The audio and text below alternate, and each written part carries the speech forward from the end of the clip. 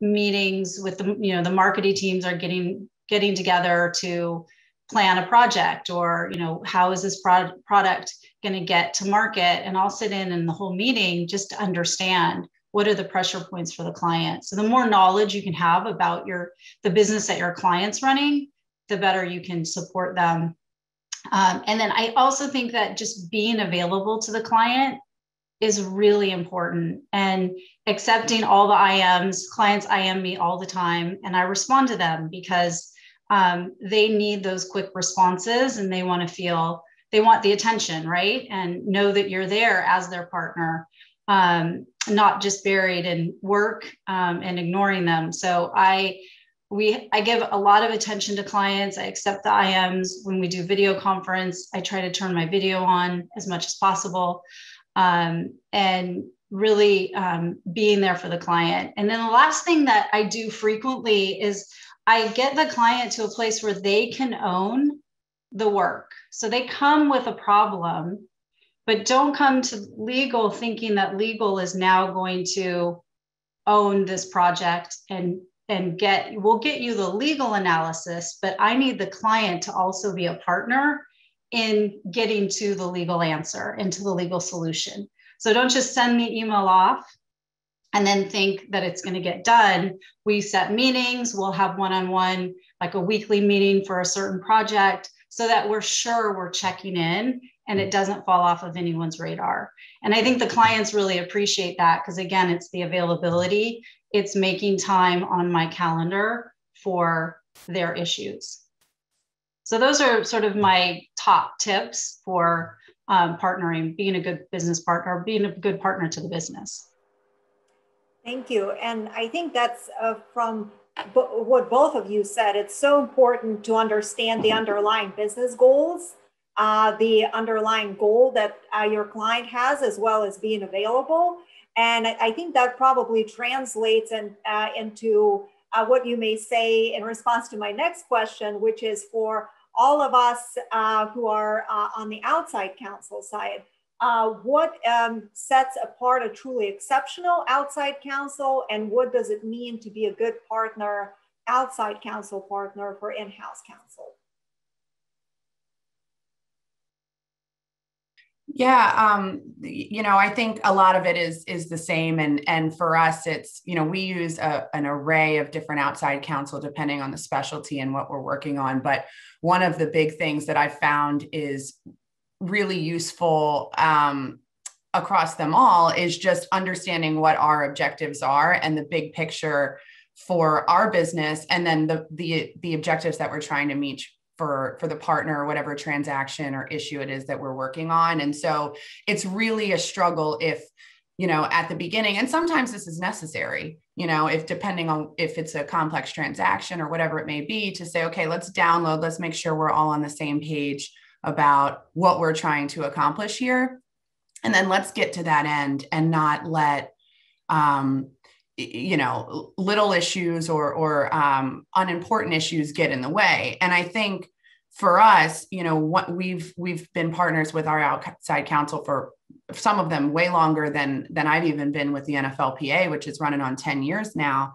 Um, but but a big piece of it is just trust and knowing that they get it, and they're going to make a big deal over the things that are actually a big deal right? And help guide us to that solution. And then and that way you know we really want to be collaborative. A lot of times when we're working on these things i'm uh, even though i'm the lawyer in house i'm playing very much a business role when it comes to the outside counsel. Um, so it's it's managing them to to ensure that um, you know they're pushing on the issues that they need to and i'm going to trust them to to do that and advise us in that space. So that's huge for us. And then the, the last thing i would say is um, what really helps them to stand out in my mind is obviously being available. We've had a couple of crazy past few years where i kid you not we stole just about every holiday in, in 2019 from our outside counsel because it just happened to be a deadline that, sorry, yes, it's the 4th of July. Um, but they took it on and, and they were great about it and they got us what we needed. And that's really important because just and i'm sure in so many businesses for folks on the phone it's just you know we don't really control the schedule um, so that that's always really important and just you know one of the points that i made earlier was anticipating what's to come and being really knowledgeable in the space to help us to detect issues that we may not have a pulse on uh, is always just a great quality yeah, and I think I mean everything Sophie just said again is is right on on and and everything I said about how I'm a good partner to or I try to be the best partner to the business. I think our outside firms need to do the same. So they need to come and be solution oriented. Give me the risk assessment, but then also give me your suggestions for how we can go to market and mitigate the risk. Um, and then you know really take the time to know the business. And that to me is huge for our outside partners is they know our business. And and um, you know nestle is always acquiring and selling businesses. And, and when i have the firms um, and, and the people within the firms coming sending me an email you know i just saw you bought this business and you know congratulations or this is really exciting that means something to me because it means they're watching what we're doing um, and they're keeping themselves educated about our business, which is constantly changing. Um, so really know my business and um, anything that's public, like just be reading up on it and know what's going on. Um, and then I think also coming to us and providing your expertise because we, as a leave in-house legal department, can't be experts in every area. You know, I head up the trademark function, but I can't know every nuance within trademark law. So having the outside counsel come and say, hey, there's this new case or this new issue that's coming up. And we do have firms that are great about doing that. And those are the ones I really value because I know I, I'll, when the issue comes to me, I know exactly who to call. And I just had one come up recently and it was perfect because they had sent me a few weeks ago the firm had sent me something on this on nfts this very new new thing that's coming up. And uh, the firm had sent me some information on it.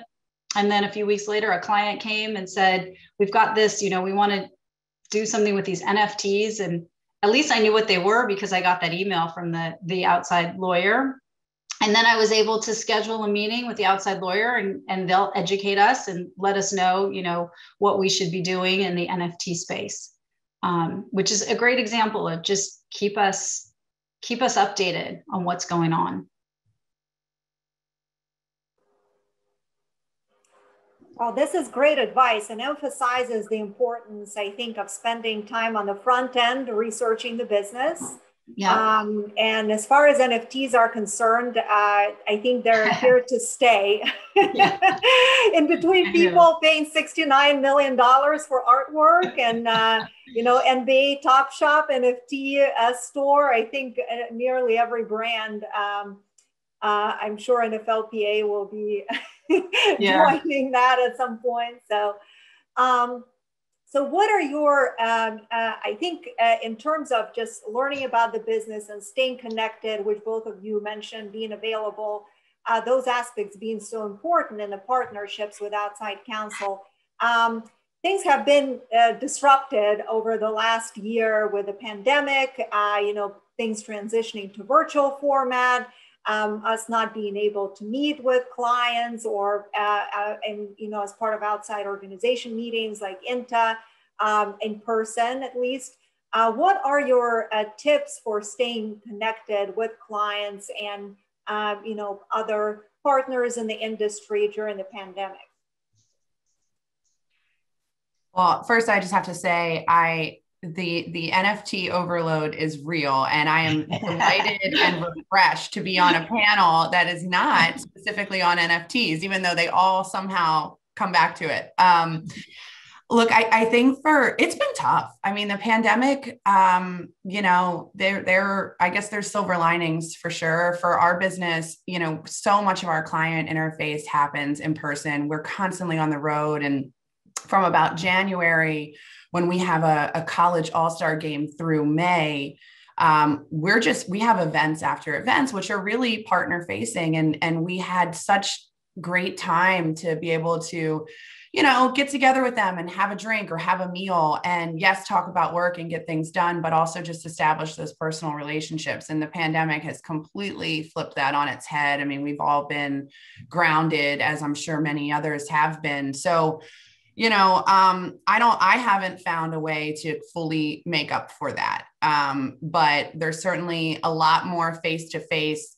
you know off season calls that we otherwise wouldn't have had with with partners which has has their pros and cons um, you know a, a tip that i've found that has has been useful in some ways is to try to find times to maybe connect with clients or business partners um, over Zoom that may be late, you know, schedule it where let's talk about this, but let's also have a cocktail. And it's it's not quite the same as the in-person thing, but at least you, you know, you're more inclined to actually catch up and establish um, the personal relationship there. And then the other thing I'd say, which might be a little counterintuitive, is which I love when when folks come to me with it is offering a phone call or just calling instead of setting up a Zoom. Um, I think you know everyone has fatigue, and it's you know while you're like, yeah, I really should connect with this client. It's been a long time since I've have talked to them, but do I really want to get on another Zoom to do it? And a lot of times the answer is no. And so if it's yeah, I can take a call and walk around the block while I'm doing it. I I welcome that all the time. I like that. I haven't done that yet. I haven't walked around the block on calls, but that's a good idea. Um, so, luckily, fortunately, when the pandemic hit, Nestle was very prepared with the IT infrastructure.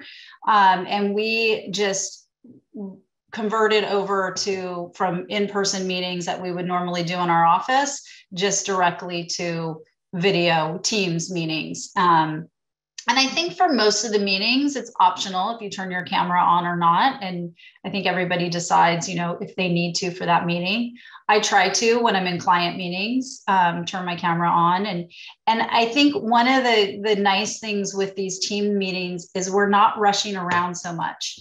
And before with our in-person meetings we would have to you know you would have meetings back to back and you'd have to run around to different rooms in the building, different conference rooms and different floors. And so you don't have that anymore. So people are showing up on time, which gives you a few minutes, usually the first five minutes of the meeting, where you can catch up and have some small talk. And so I try to do that, not go straight into what you know what's on the agenda but let's all just you know how's everything going and i think the the the employees at nestle have been really good about sort of taking a breath and um, joining the calls and, and being a little more relaxed and not as I've got to rush to the next meeting. Um, so that's been, I think, really nice. Um, so one of my tips is, you know, turn your camera on and and have face to face with the clients because I think it's really helpful. And then take the time to have some small talk, which is super important. And then we have a lot of virtual employee functions, whether it's legal department sponsored um, or company sponsored, and I attend those, and and those are really um, great to you know see what's going on one with the business, but then also to connect with your colleagues um, who are also the clients.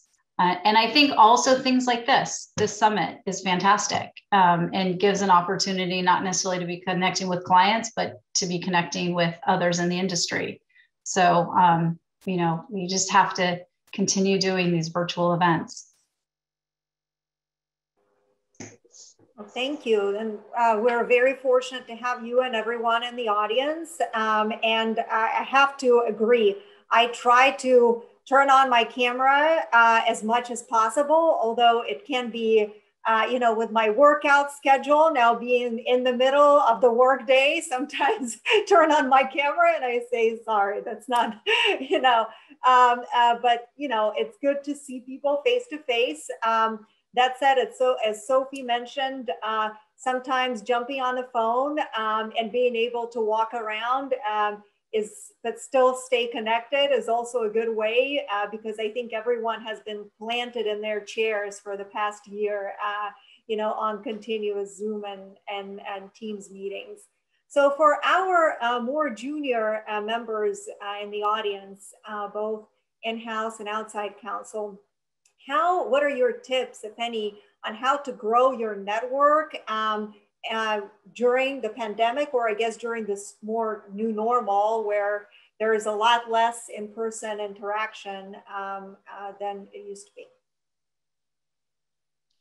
I mean, I can go first on that one. I, think importantly, jump in and and ask your um, your clients to have meetings with you or to have um, you know to offer up a cle or and it doesn't have to be a cle for credit which i know is it can be complicated to put together but you know there's some issue and uh, uh nfts are an example but just offer to have a discussion with your client about it.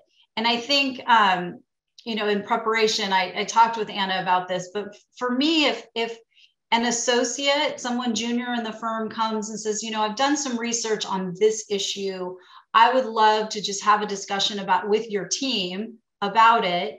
And can we set up some time, set up some time?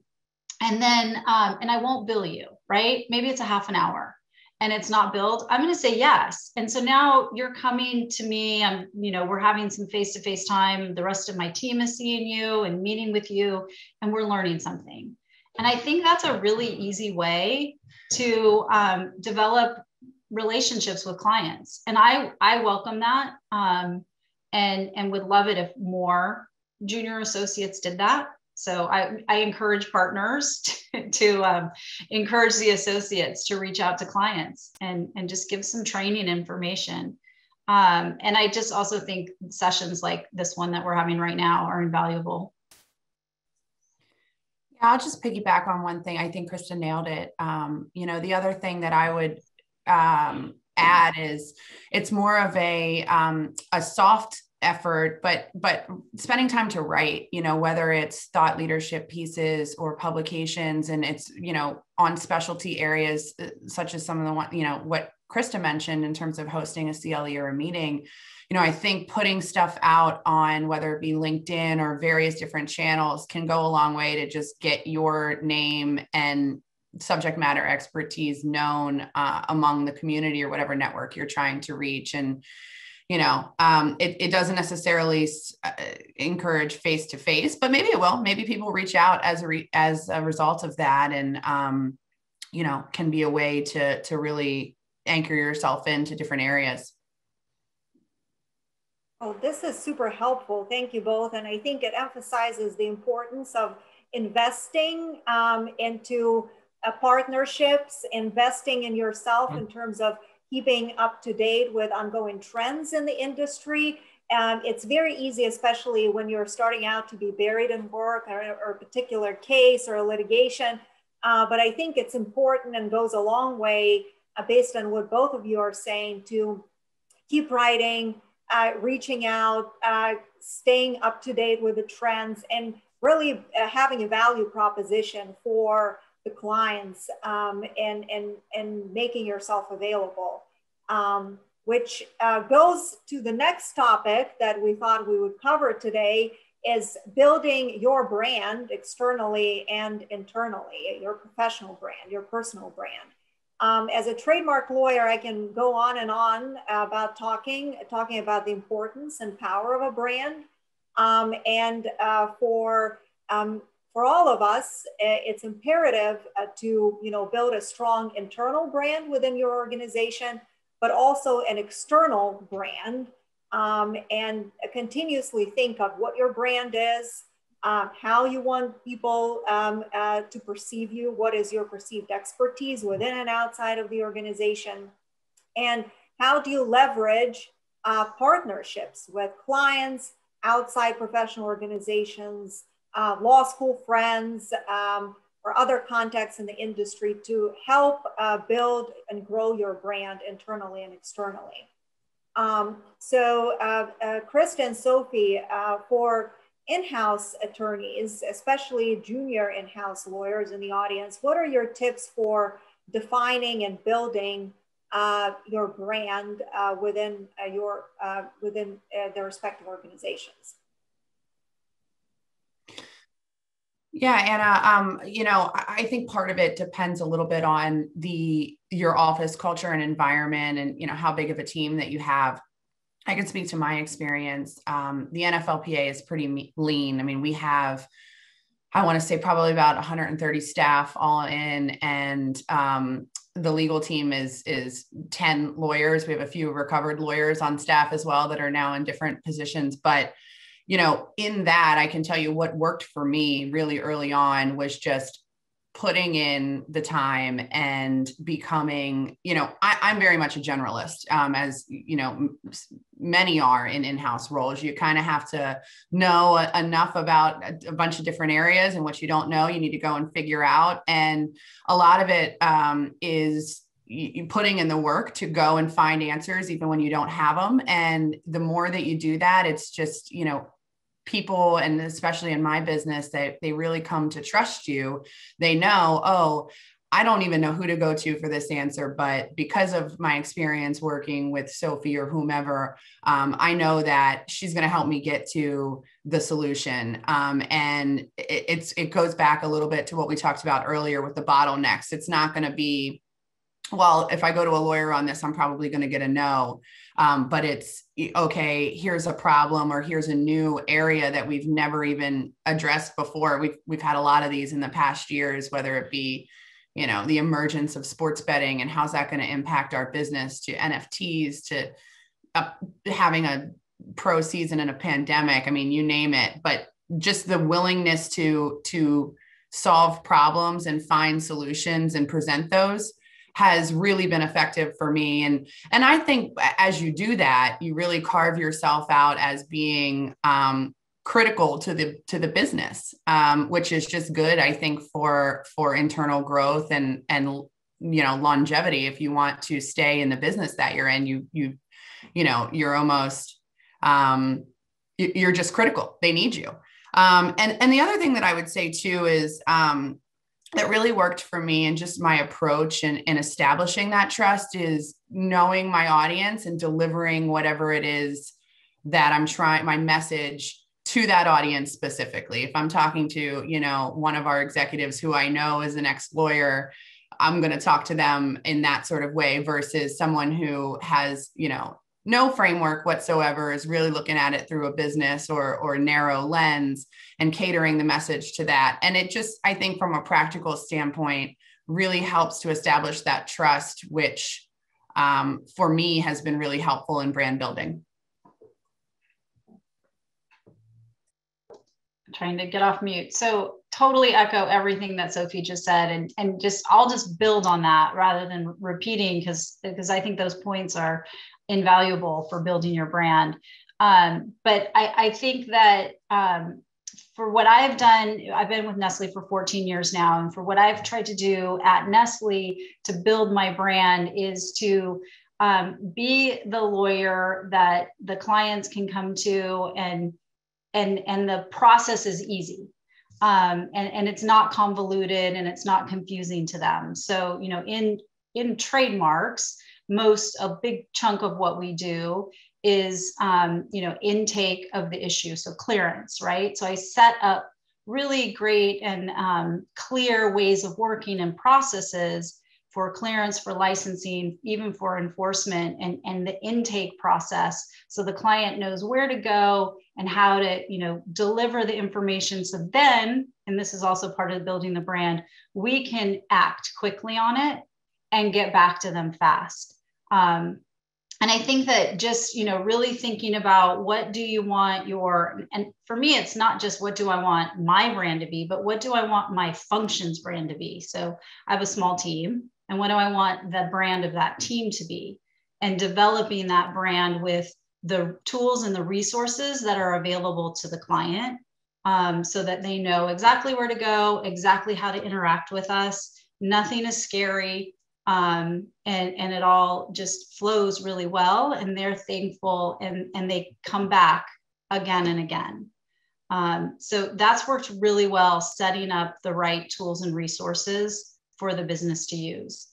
Um, another area where i've had to sort of brand myself over the last few years is with licensing and at nestle we didn't have very much licensing going on about five or six years ago and we had some change happening within the organization where we moved from four years ago, we moved from the West Coast to the East Coast. So we lost some people within the legal department. So I volunteered to take on the licensing responsibilities. Um, and from that, I've built that brand as well, which is a little bit separate from the trademark function because there's a lot more involved in licensing than just the trademarks. Um, but you know, the I've, I've become and built this um, area of expertise within the organization that the business people from all over different functions, different divisions, and different campuses will come and say, I've heard actually even someone from China recently, Nestle China came and said, I've heard you know a lot about licensing within the organization. Can you help? So that's a brand that I've built is as as the licensing um, expert within the organization. And it really that in that sense, it was just volunteering and, and getting in and really learning an area and putting it together again with tools and resources. Can I just add one thing to that? Because Krista, I think you make a great point, and I've seen that be really effective internally, but also brand building externally too. You know, for in our in my industry, um, there I, I've seen at least three come to mind. People who lawyers who work at you know firms and don't really have aren't specialized in certain topics but they really just got in early on and did just that. Um, you know like sports betting is a perfect example where they they went and spoke on every panel and published thought pieces and really establish themselves as an expert in you know sports betting or whatever it may be which is funny because you look at these different panels and you're like gosh i see this person's name on every single one of them and then you dig a little bit deeper and you realize they don't even really work in this space. They're just interested in it and took the extra step to establish themselves as an expert.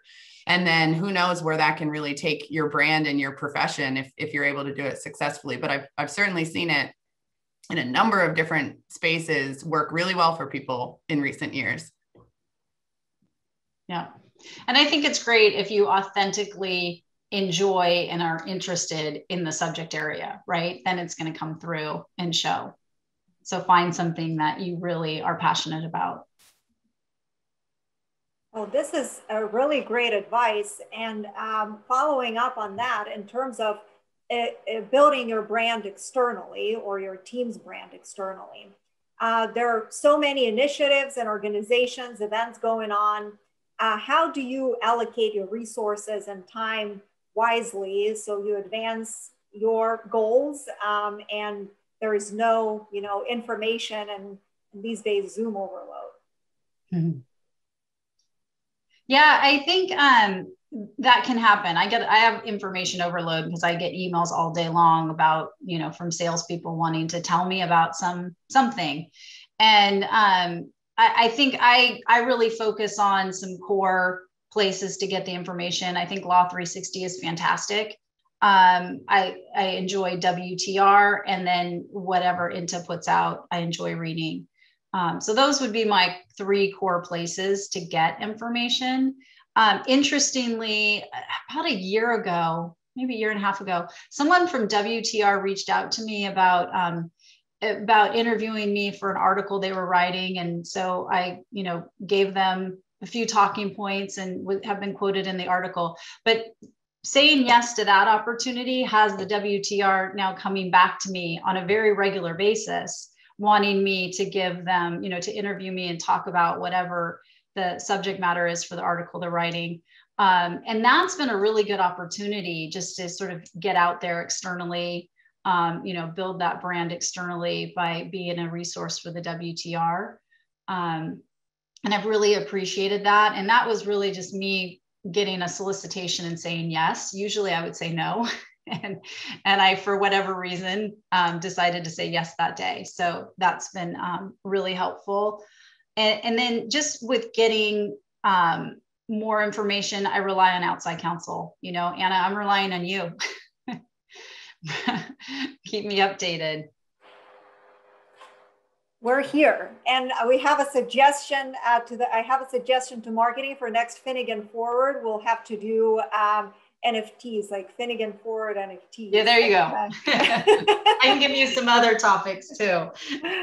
yeah, and for uh, the patent, my patent colleagues in the audience, WTR is a World Trademark uh, Review. It's a publication that is, uh, you know, very prominent and in International Trademark uh, Association. So I think it's, you know, getting um, to know and getting involved with the key organizations and eliminating noise in your space.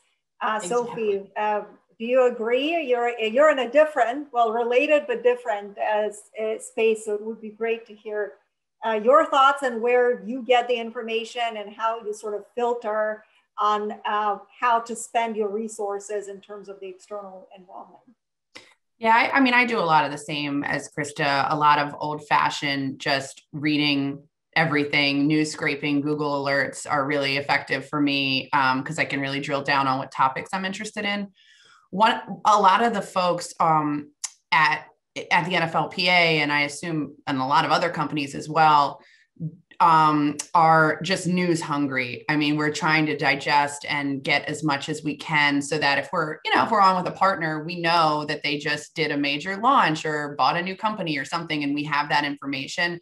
But one of the things that we've done is pool our resources internally at the NFLPA. And so we know that we're all out there scrubbing all of the news and, and sports and industry uh, sources. And so we'll have internal, what we call media clips that they'll send around and they'll scrub the top top news of the day. And so you can get your quick hit information there. And then in my team, we really encourage um, share what you're reading right if you see something out there that's really interesting um, just just drop a note we read a lot of the same publications so we've probably seen it but sometimes we don't because um, you can really go down a rabbit hole sometimes and you know we that also extends to some of our external partners too where especially in the ip space um, you know ip is just one part of what we do at the nflpa but i really lean on my my partners that that's what they do. They are the brand protection specialists for their company and so they just have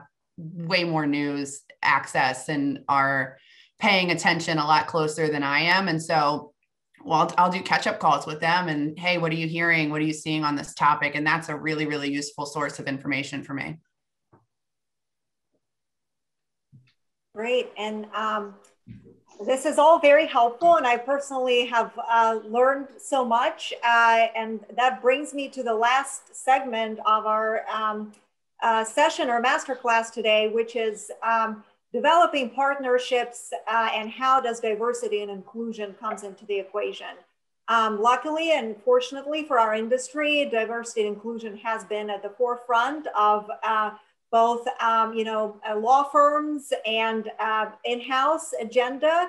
Um, and uh, I, I, have really seen a lot more interest from multiple clients and, you know, getting um, annual updates or surveys on who's working on their teams, how many diverse associates we have, uh, what um, does our management look like in terms of the uh, diversity. And I'm proud that, you know, 58% of uh, the management at Finnegan is diverse and we're trying to expand the pipeline.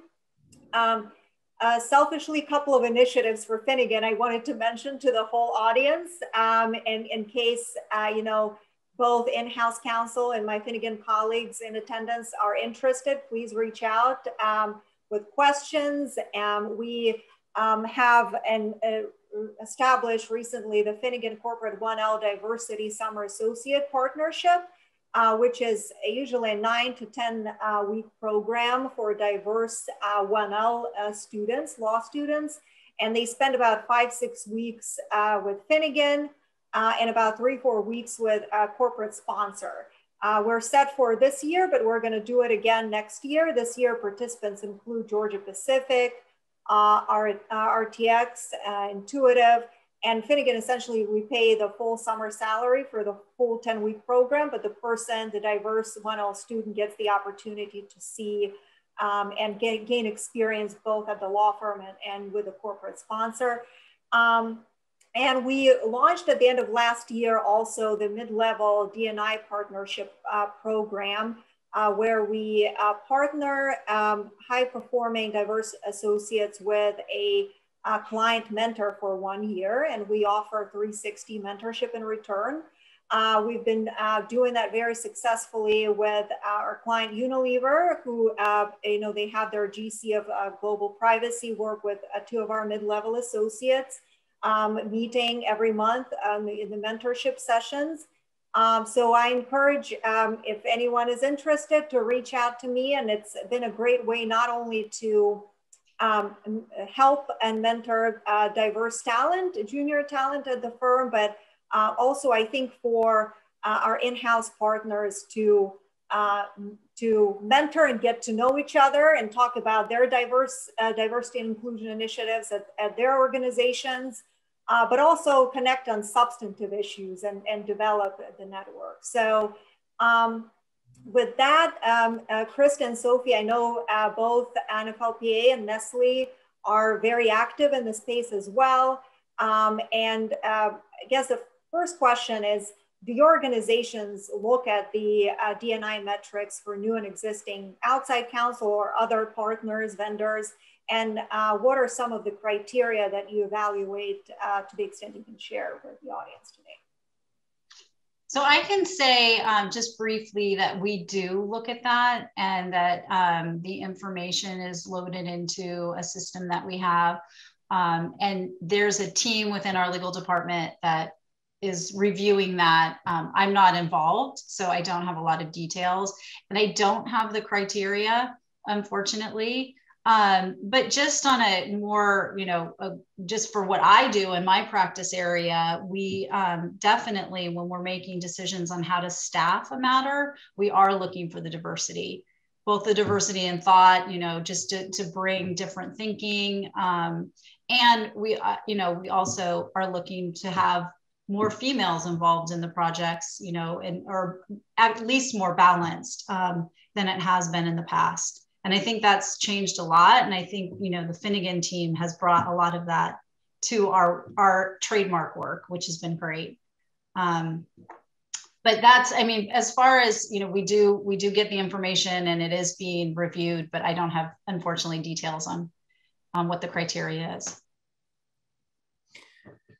For us um you know we I, I, one of the things that the nflpa is, has as, as long as I've been there, been pretty proud of is just how diverse of a workforce we have. Um, and it's probably has a lot to do with our membership being a very diverse population of people. And so, um, you know, it's certainly something that we value in our business partners. And um, we've, you know, as we look to do, especially new business transactions, I can tell you that from a, um, you know, a DNI standpoint, just d- diversity in in the in the leadership of those companies and um, product uh, is certainly something that we look at and, and we value a lot. Um, and you know, the other thing that I can say, and just this isn't really, I don't think this really goes to your question, but it's just um, something that I've been appreciative in my experience with the NFLPA, at least, and in sports, is it's not always been very diverse. I mean, it's you know that you hear the good old boys club and and i think that's changed a lot and it's it's nice to see that you know just women in, in leadership positions and diversity at the top in terms of founders um, board makeup um, and just just folks in leadership positions in general. That's that's great to hear. Um, and um, and and krista i'm very proud to hear about the trademark team at Finnegan. you know, we're working on the gender balance, which brings me to my next question. Uh, I know you developed, Krista, and a former co-leader of the Nestle Arlington campus Gender Balance Network. Um, can you tell us a little bit about that initiatives? I think I think that is very interesting, especially for all of those in the DC, Northern Virginia area in the, in the audience. Yeah, just I just wanted we have a time check. Are we are we wrapping up in a few minutes? We're wrapping up. Uh, we're okay, all, so I'll go. I'll go really quick. So um, when we moved from the West Coast to the East Coast to Arlington, Virginia, um, Nestle formed employee employee resource groups, so ERGs. Um, in in different areas, and one of them was gender balance. I literally just volunteered. I was new to Arlington, and I volunteered to help out with the ERGs, not necessarily any particular one, um, but I was uh, asked in the first meeting, you know, would you do you want to take on gender balance? And I said absolutely.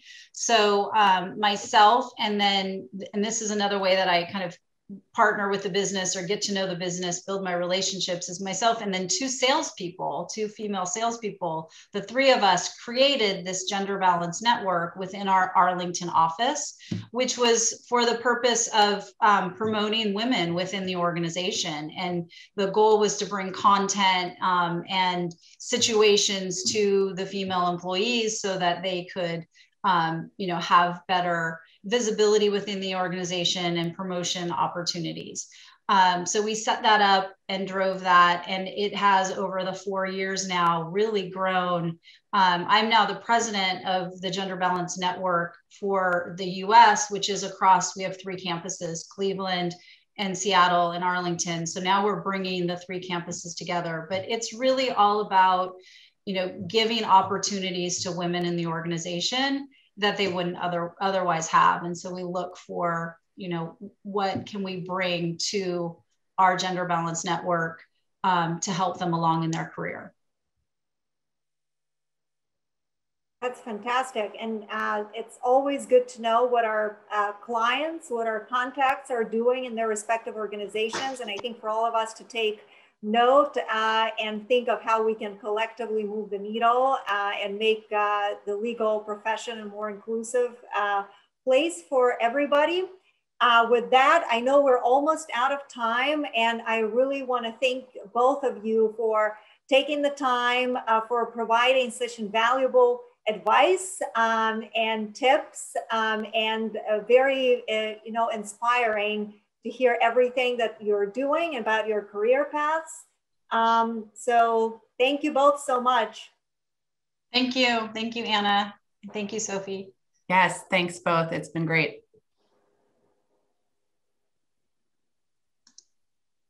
Thank you, Krista, Sophie, and Anna. Um, Sophie, it was really insightful hearing about, you know, the importance of tailoring dialogues and trust building as a vehicle for building brands. And Krista remarks about the importance of staying up to date with trends and making the tools and resources easy is, is really valuable.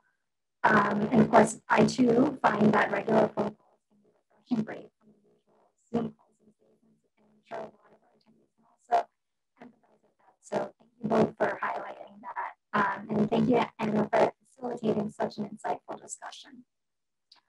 We are going to take a quick break now until 5 Eastern when we convene for a social event, icon, virtual and social. Hope to see you all back in four hours.